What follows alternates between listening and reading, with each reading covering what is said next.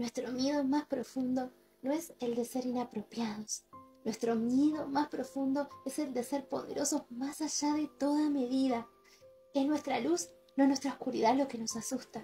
Y nos preguntamos, ¿quién soy yo para ser brillante, precioso, talentoso y fabuloso? Más bien la pregunta es, ¿quién eres tú para no serlo?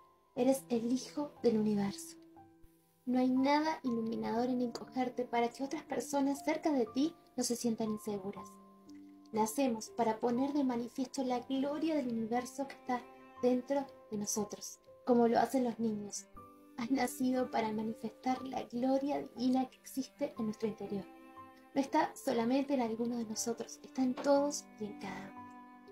Y mientras dejamos lucir nuestra propia luz, inconscientemente damos permiso a otras personas de hacer lo mismo. Y al liberarnos del miedo, nuestra presencia automáticamente libera a los demás. Este hermoso poema nos enseña cuán importante es mostrar eso que nos hace ser único, ese don o talento que guardamos y reservamos solo para nosotros y que tenemos miedo de mostrar al resto de las personas, porque nos juzguen, porque quizás no es tan adecuado, porque quizás es, es poquito y no tiene mucho valor. Basta, basta de eso.